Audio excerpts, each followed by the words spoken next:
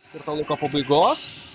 Kristupas Mirno vėl su kamoliu jis priešais Vysę Maška ir toliau aktyviai žaidžia Kristupas Mirnov, tiesa šį kartą suklysta 2 prieš 2, Karolis Brustovas grauna iš viršaus. Na, šiandien nematėm nieko panašaus. Karolis Brustovas,